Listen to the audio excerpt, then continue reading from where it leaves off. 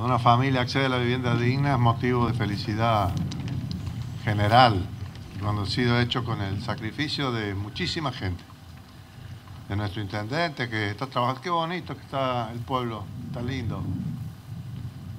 Y, qué, qué, trabajo en medio de una pandemia, ¿no? Seguir construyendo, que no es fácil porque, bueno, que el transporte, que las cosas, que los que están con enfermedades de base, las personas mayores de 60. Todas estas dificultades se han superado con mucho corazón, mucho corazón. Gracias a, la Secretaría de Vivienda, a Tupalaní, a Ángela Gutiérrez, que estaba antes, y también al intendente, a, bueno, a todos los que han hecho posible esto, a la empresa constructora, ¿a quién trabajó? ¿La municipalidad? Bien. Álvarez de Unión. ¿Está la empresa por acá? Bueno, hay que ser agradecido a todos porque todos han puesto algo para que terminemos con la obra. Y a las familias que han tenido la paciencia de esperar, esperar. Y ahora vamos a ayudar entre todos que se muden ahora mismo nomás. Acá me decía eh, Tupalaní que nuestro secretario de la vivienda de la provincia, con rango de ministro de vivienda, me decía que qué bueno sería ponerle al, barrio este, que tengo que ponerle un nombre, poner el nombre de Ramón Carrillo. Ramón Carrillo fue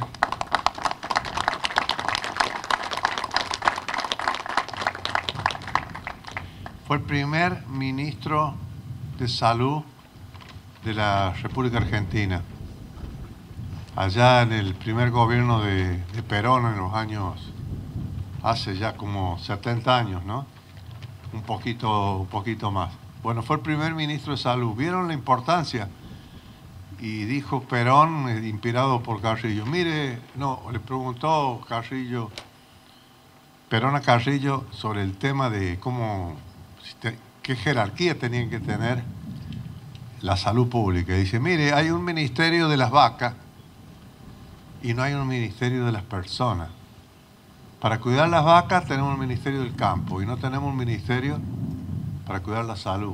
Y entonces, este, bueno, se crió el Ministerio de Salud y fue Ramón Carrillo. Ramón Carrillo, un hombre que luchó eh, por la salud pública.